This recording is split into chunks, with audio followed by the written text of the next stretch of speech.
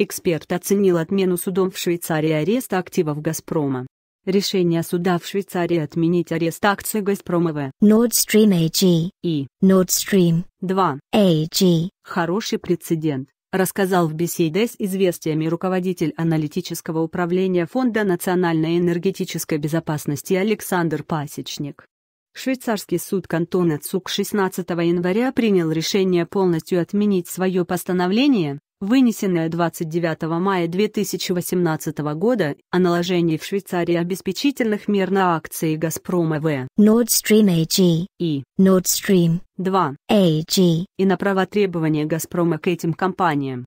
Об аресте активов российской компании в рамках принудительного взыскания по арбитражным разбирательствам с «Нафтогазом» Украины сообщалось 31 мая, идут по трубам. Почему Киев не может спасти газотранспортную систему Украина хотела получить за нее 300 миллиардов долларов теперь не может продать и за 7 любое решение судов в пользу российского концерна благотворно. При этом в деле «Нафтогаза» и «Газпрома» не первый раз с исками возникают такие качели, когда сначала идет обеспечение, потом отмена. Это показывает, что нет объективной юридической базы для таких ограничительных мер и зачастую суды сами свои решения проваливают.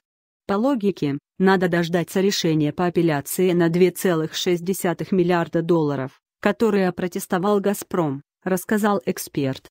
Накануне, 17 января, глава «Нафтогаза» Андрей Кобелев объявил, что концерн добился ареста зарубежных активов «Газпрома» на сумму, превышающую присужденные Стокгольмским арбитражем 2,56 миллиарда долларов по мнению пасечника. Такая демонстративная активность «Нафтогаза» обусловлена приближающимися переговорами по новому газовому контракту.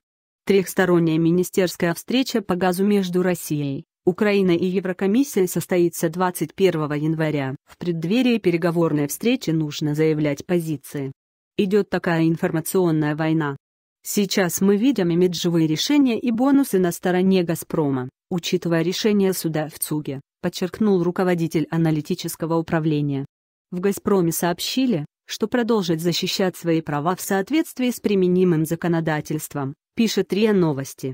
Стокгольмский арбитраж в феврале 2018 года обязал «Газпром» выплатить «Нафтогазу» 4,7 миллиарда долларов. При этом украинскую компанию обязали выплатить России более 2 миллиарда долларов. Таким образом, «Газпром» остался должен 2,56 миллиарда долларов при условии, что изначально «Нафтогаз» требовал 17 миллиардов долларов. В марте «Газпром» обжаловал решение суда и заявил о расторжении контрактов с «Нафтогазом».